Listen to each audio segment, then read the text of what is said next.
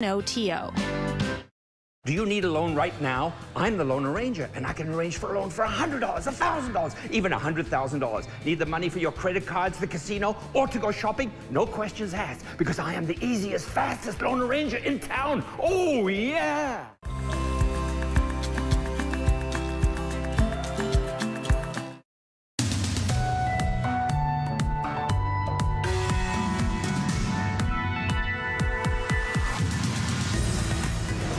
CP24 tonight, exiting step three, the Ford government is expected to make an announcement next week on its plan to move ahead in its roadmap to reopening. Getting QR code ready, the province launches the app businesses can use to check vaccine certificates ahead of the full rollout next week. And negative tests needed with the U.S. border reopening to Canadians next month. The feds confirm you'll still need a negative COVID test to return north of the border. I'm Jackie Crandles. And I'm Jennifer Shung. This is CP24 Tonight.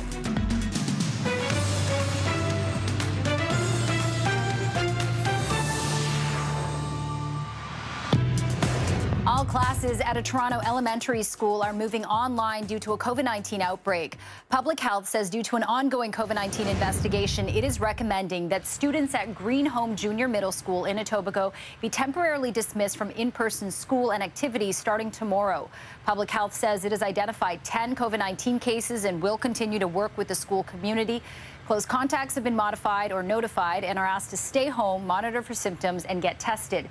The TDSB says all students at Greenholme will be moving to remote learning. Public Health also says they have identified more than two cases of COVID-19 linked within Etienne Brule Junior School and Greenholme Junior Middle School. They've declared outbreaks at both schools, but only students at Greenholme have been dismissed. CTV News Toronto has learned the Ford government is considering further easing of pandemic restrictions. Sources say an announcement about the plan to exit step three of the province's reopening roadmap is expected next week. Leaving the framework would likely mean relaxing indoor capacity limits for businesses like gyms and restaurants, which are currently capped at 50%. Ontario's top doctor says he wants to make sure there isn't a spike in cases related to the Thanksgiving weekend before lifting restrictions in settings where proof of vaccination is required. What we see is a phased um, uh, removal of, of domains requiring uh, uh, verification of your immunization as we have very low rates across Ontario. Um, uh, so, so we may not require them in some venues, but still require them in mass gatherings where we have a, a, a large number of people gathering. Um, so, so um, we're still reviewing that science and getting the input of our experts, uh, but we do uh, not, not see the whole certification process ending suddenly, but having a phased exit from it over time following data.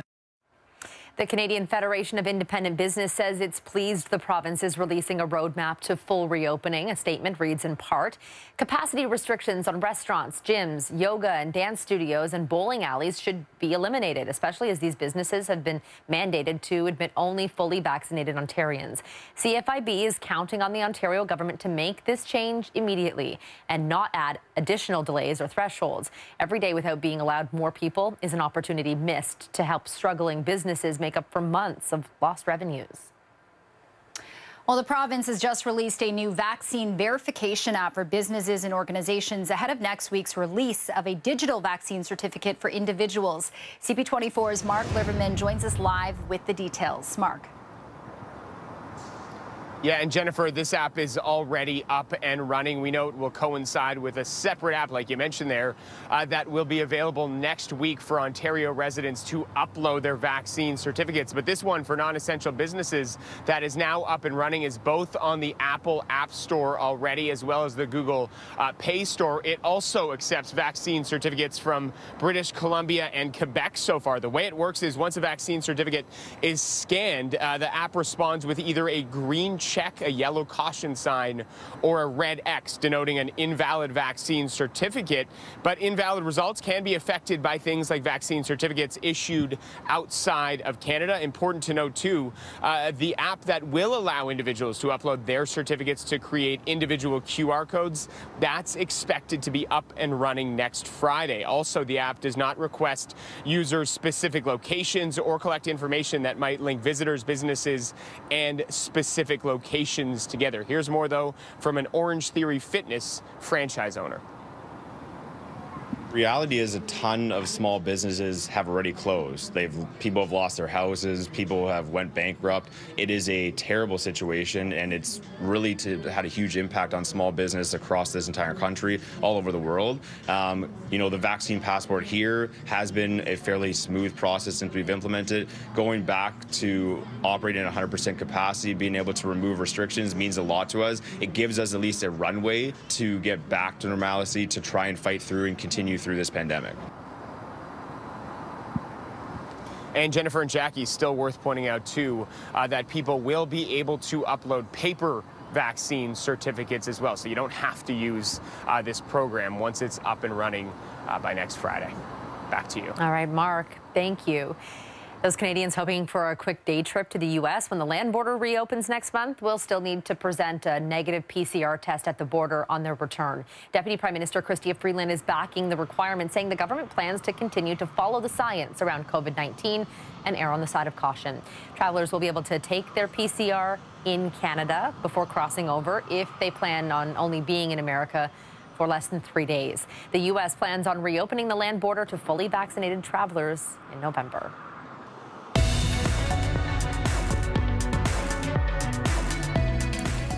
Come tonight, a state of emergency in Iqaluit. 8,000 residents have been told not to drink the water. We'll speak with the mayor and a volunteer bringing river water to the city's elders in about 30 minutes' time. A 15 year old girl has been charged with murder in the death of another teen back in the summer. 16 year old Caden Francis was fatally shot on Antrim Crescent, that's near Kennedy and the 401, on July 3rd. Police say he was standing with friends when a black SUV drove up and one or more suspects opened fire. Caden's family tells CTV News he was a straight A student who was playing basketball with friends steps from his home. They say they've been told the name of the suspect, but they don't know her. It hurts. My, my stomach, I cry at night to go to bed. Sometime morning I wake up, I'm still, you know, that's the first thing is tears coming out my eye as a mom. All on school, off school, you know, very smart, tech savvy, you know, and sad that he was robbed of such a bright future. It's, it's really sad. The girl's name can't be released because of her age. We're hearing tonight from a woman who lost her parents in a deadly crash near High Park this week. Fatima and Valdemar Avila were killed on Tuesday afternoon when their car was hit from behind on Parkside Drive as they sat in traffic. They were well known in Little Portugal. 71-year-old Valdemar was a roofer, while 69-year-old Fatima owned a salon for decades before closing it during the pandemic. Their daughter Ashley is angry, but also says she forgives the driver responsible. It's so tough we were just together on Thanksgiving, and to get this news the day after is it's heartbreaking. Life was cut short for them. They don't get to see my kids grow up anymore. My kids may not even remember because they're so young. Police say the BMW that hit the Avila's car was speeding, but so far no charges have been laid against the 38-year-old driver. The OPP are trying to identify the woman struck and injured on the 401 this afternoon. It happened in the eastbound express lanes of the 401 near Yonge Street around 1 o'clock. Police say the woman was hit by a tractor trailer. She was taken to hospital with life-threatening injuries. The highway was closed for about four hours as a result. Now investigators are trying to identify her so they can get in touch with her family. They say she's 30 to 40 years old. She was wearing gray pants, a brown wool sweater, white running shoes, white gloves, and has long dark hair. CTV News has learned Prime Minister Justin Trudeau will unveil his new cabinet on either October 25th or 26th. Trudeau and the Liberals were elected to a third term with a minority government in last month's federal election. Some ministers lost their seats, meaning there will be new faces in cabinet regardless of other potential changes.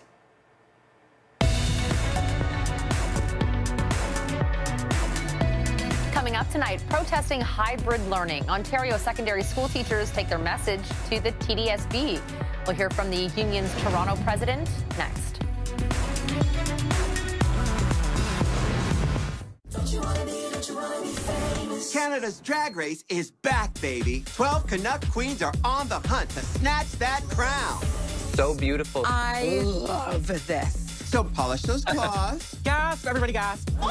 and sharpen that tongue, because y'all about to have a whole lot of fun. Canada's Drag Race, now streaming, only on Crave. Brought to you in part by Shoppers Drug Mart. Shop beauty in store and online. It doesn't matter who you're taking or where you're going, your tires won't last forever. And now is the perfect time for new ones. Buy three tires and get the fourth free. Visit your Chrysler, Dodge, Jeep, and Ram dealer for details. Are you suffering from depression and not able to work? Has your LTD claim been denied? You need a team of experienced disability lawyers who can fight for your rights and get the justice. And remember, you do not pay anything unless we win. Allum Law, your trusted disability lawyers. Anybody who would uh, who is looking to kind of get into trading. And you know it's a good icebreaker. I would definitely say Wealthsimple not only is the app super easy to use it's a zero dollar commission fee. It's a it's an easy sell for sure. If i can do it you can do it. I've been telling everyone the secret to great teeth is having healthy gums. Crest Advanced Gum Restore fights plaque bacteria below the gum line, promotes gum healing, and restores gums back to health. Crest.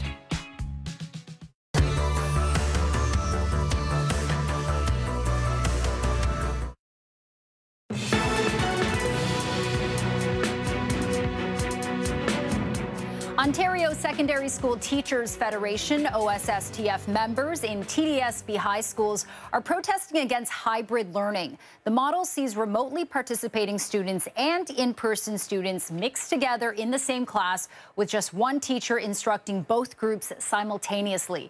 Various OSSTF teachers and education workers delivered deputations at a TDSB meeting earlier today to highlight for the board why hybrid learning is just not working. Well, joining us now to chat more more about this is Michelle Teixeira, OSSTF Toronto President, Beyhan Farhadi, a postdoctoral researcher at York University, and Shamila Shakil, a concerned parent in York Region. Thank you so much for joining us on CP24 tonight.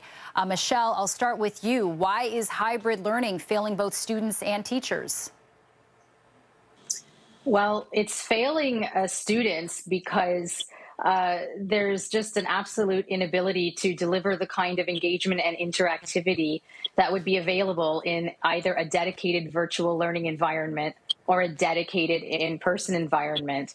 And what we're hearing is, you know, students are feeling left behind. The students who are at home and not in the classroom, they're feeling that they're on the sidelines. Um, and this is impacting teachers and how good they feel about doing their job. All right, and we also have uh, Shamila here. Shamila, you're a parent of uh, several kids. They're doing classes in, in, the, in this hybrid learning environment. Tell us about your situation and what it's been like. Um, so what I'm hearing from my kids is that the teachers are spending a lot of time trying to make this work, and they're being told that there's a learning curve and that you know eventually it's it's, just going to work. Um, but they're spending a lot of time trying to fix the technology, trying to figure things out to make things work for both the students in the class and the students at home. And it's incredibly frustrating for them. And the the students are picking up on it.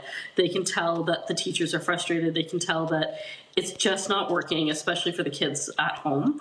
And um, it, I think even the students will tell you it's not fair um, to see their teachers have to struggle like that. You know, sometimes up to 45 minutes per class just to try to figure things out. Yeah, that sounds frustrating. Uh, I'm a parent. I've had kids uh, do virtual school, but now they're fully in, in person. So I can't imagine the teacher juggling both in one environment. That must be very difficult. Michelle, let me let me go back to you with this question. Since we know that there is in-person learning, there's also virtual learning. Why are we seeing hybrid learning at all? Well, uh, that's a good question. Uh, the TDSB told us back in the spring that this would be uh, minimized, that it's it would be a response to an emergency situation. Uh, and you know their explanation for for why it's so prevalent in 68.5 percent of secondary classes in the TDSB is timetabling limitations. And, you know, we just don't understand that because we know that uh, they could have put plans in place for a virtual school or for virtual hubs uh, they had the ability to do this. Uh, it's happening in other school boards. Um, and, and so, you know, we, we, we just don't know at this point, uh, other than the TDSB says it's impossible to do it otherwise. Hmm. Beyhan, I want to get your thoughts on this. Uh, you've done a lot of research with children and virtual learning. What's your take on how this is going to play out and whether or not it's beneficial for anyone at this point? So, hybrid learning started uh, in graduate programs. It was a niche method of delivery and has been found not to be successful even with adults uh, without really like an investment in the technology in a university lecture context. So to see this kind of rolled out to secondary students in a public education system with the explicit intent to cut costs um, is leading inevitably to this kind of uh, split attention model where students both virtually and in person lose out. Um, and, you know, we're not supporting teachers, and so it's going to impact our students as well. Yeah, I can certainly see that. Uh, Michelle, what is the OSSTF calling for right now? Well, right now we're calling for an immediate end to hybrid learning. Uh, we believe that uh, a smaller virtual school can be put in place or that virtual hubs can be put in place. If the issue is uh, timetabling, then virtual hubs can help with that. You can have uh, uh, neighboring schools, a bunch of schools get together uh, to create, you know, one section of that grade 10 English class or whatever it is so that you have enough students um, to be able to provide that dedicated virtual uh, experience. You know, it, it's, it takes some creativity, it definitely takes some resources, and it takes some money. Um, but it can be done. We know that it can be. And what was the reception of uh, the board today? I, th I, think we actually have a statement from the TDSB, but I know that members were giving their deputations today. What was your sense of uh, the communication that was being passed on today? Are they being receptive? I think, uh, judging from the, the trustees' questions, uh, the trustees are being very receptive to the delegations that they heard today. Uh, 10 of our members uh, provided very uh, heartwarming and thoughtful delegations. Many of them had tears, tears in their voice as they described the impact that hybrid learning was having, not only on them, uh, but but their students. They talked mostly about the challenges that their students were facing as a result of feeling left out and isolated because of hybrid learning. Well, that sounds uh, pretty powerful, Michelle. I just want to read the statement put out by TDSB. I'll read it right now. Uh, they say, like many things during the pandemic, the TDSB has had to adjust to a difficult set of circumstances. The goal in August was to create as many virtual classes as possible. However, the total number of students and distribution across grades 9 to 12 made it impossible for local schools to timetable exclusively virtual classes for students prior to the first day of school on September the 9th. As a result, approximately 68% of secondary classes in the TDSB have some level of simultaneous learning taking place. While we had hoped there would be fewer simultaneous classes, it has enabled schools to maintain a range of courses for students learning both in person and learning remotely and stability in students' timetables. It's also important to note that the TDSB, which is facing declining enrollment this year, has already reached a ministry required limit on deficit spending and does not have the resources to hire the additional staff that would be required to eliminate simultaneous learning while maintaining the current course selection. All right, a lot of words there. Uh, I want to get your thoughts, uh, Beyhan, on what you think the solution could be, given what you just heard there from the TDSB. So this is the first time I'm hearing TDSB actually announce the number. Uh, so the public pressure has been working, but we still don't have a lot of transparency so that we can make thoughtful recommendations. I know a lot of the schools, just anecdotally, are concentrated in already struggling communities. It's an equity issue, and so this, uh, you know, this conversation around administration and timetabling, um, you're having students timetabled perhaps in the courses of their first choice, but they're not getting a quality education. So I want to suggest that we really consider um, quality over quantity when it comes to this year's pandemic education. And Michelle, when it comes to which te teachers are getting saddling with these hybrid classes, is this all random? Uh, to a certain extent, it's random. It's dependent on the courses that students selected. But again, it's happening in 68.5% of the classes. So the majority of teachers are dealing with this. Um, and it's happening across a variety of classes. Uh, it's happening in experiential classes, it's happening in phys ed classes, dance classes, science classes where students can't participate in the labs. It, it's happening it, just broadly across the system. Wow. And Shamila, I want to end uh, this panel with you. Oh, have you noticed any changes in, in the motivation of your kids when they talk about school and learning these days? Absolutely. I mean, I think um, just the longer class times because the ministry mandated only two courses per day. Um, we have two and a half hours of each class um, you know, one in the morning, one in the afternoon, and then all the kids are together for lunch, and the kids are exhausted. Um, both my boys, who have pretty good energy levels, are they're they're already done. Like they're just saying, you know, we can't do this anymore. Um, so definitely that. I think they're not sleeping as well. They're definitely not eating as well too. That's what I'm hearing from a lot of parents is that kids are finding it hard to balance this kind of schedule. Um, and you know, I, I think that it's just it's it's just frustrating for all of them because they, they can see that it's just not working and they're they're just picking up on so much anxiety and stress. Um, it's not fair to anybody. I hope things improve uh, for you, Shamila, as well as for you, Michelle. Uh, I'm afraid we're going to have to leave it there tonight, but thank you so much for joining us tonight. Beyhan, Shamila, and Michelle, take care. Thank you. Thank you. Thanks. Thank you. And coming up tonight, we'll tell you how volunteers are coming together to help Afghan newcomers to Canada. We need to settle this cop versus firefighter thing once and for all. I once ran into a fire, carried out a woman, and then went back in to rescue one of my crew. I uncovered a Russian FSB safe house. Two Russian agents tried to kill me. And now we know cops are better than firefighters. Get into an all new episode of The Rookie, Sunday at 10, 8 Mountain, only on CTV. Then stream anytime on CTV.ca and the CTV app.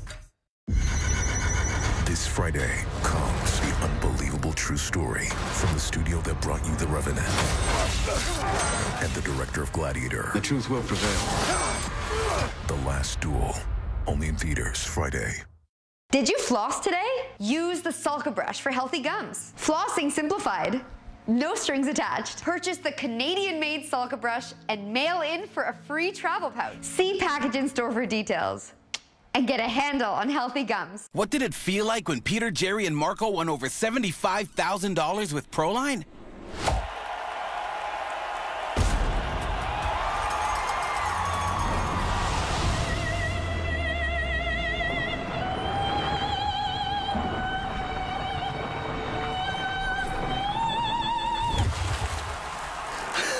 kind of like that. Winning with OLG brings out all the feels.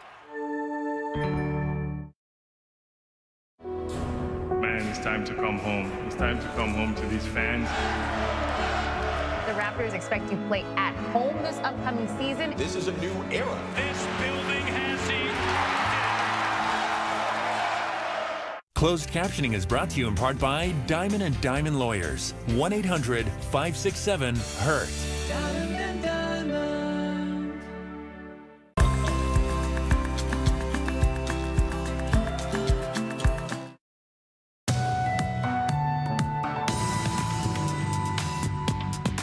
A group of volunteers who helped Syrian refugees resettle in Canada in 2015 are now working to support Afghan newcomers. Lifeline Afghanistan is organizing the volunteer efforts in Toronto to provide food, clothes, and other basic needs for Afghan refugees. Canada has welcomed more than 2,500 Afghans since the Taliban took over in the summer. The federal government has committed to resettling 40,000 people from Afghanistan with the Syrians. You didn't have to go through a process to prove you were a refugee. If you were a Syrian, you were uh, prima facie a refugee. Canada set up temporary um, processing sites in places where the refugees were.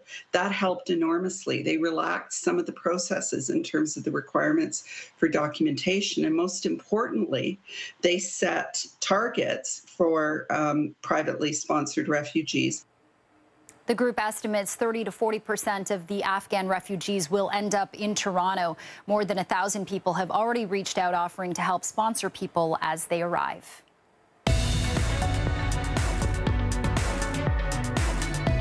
Coming up tonight, a state of emergency in Iqaluit. 8,000 residents have been told not to drink the water. We'll speak with the mayor and a volunteer bringing river water to the city's elders when CP24 tonight continues. Chum's $100,000 cash it or stash it. $10,000 every week. Take the Easy 500 or stash it for a chance at the weekly 10 grand. Cash it or stash it. Chum 1045. The price is right. Now is the time to sell your gold. Bring me your gold jewelry, your gold coins, your gold bars, even your broken gold, even your gold teeth. Oliver Jewelry pays the most for your gold. OliverJewelry.ca. Oh, yeah. It's one big prize after another in the Princess Margaret Home Lottery. Don't miss the incredible $6.6 million grand prize, our world famous early bird prize, plus turn a getaway into every day with the $1.3 million Blue Mountain grand prize. There's over 2,700 square feet for you to call home. Nothing has been left out, including $100,000 cash. Buy now at PrincessMargaretLotto.com. Wealthsimple is great because you can start in low. They don't charge you for commission fees, and it just made the process of trading a lot less intimidating. That's the beauty of it. You can't shut down the neighbors. But you can shut down your toughest cold and flu symptoms with NyQuil Complete. The nighttime sniffling, sneezing, coughing, aching, stuffy head, so you can rest. Medicine. Rolex, Rolex, Rolex. My cash for your used or new Rolexes. Bring me your Submariners, your Yachtmasters, your GMTs, your Dates or your Datejusts. Oliver Jewelry pays the highest prices for Rolexes. OliverJewelry.ca. Oh, yeah.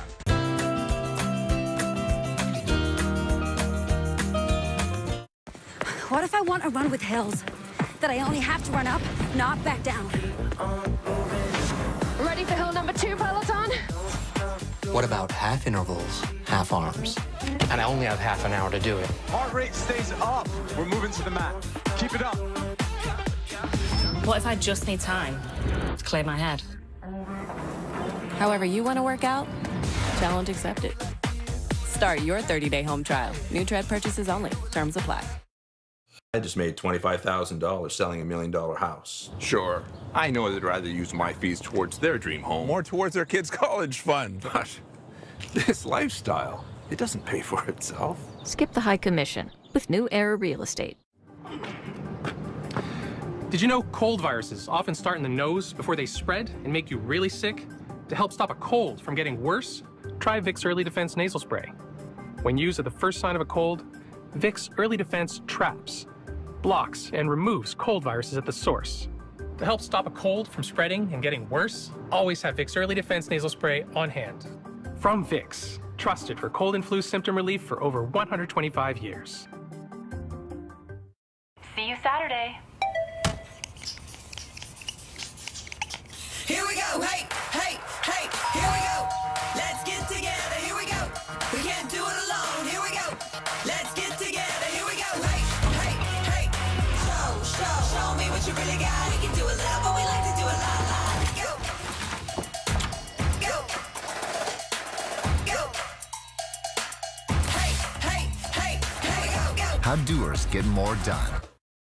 Used to think PTSD was just a part of the job, but not today.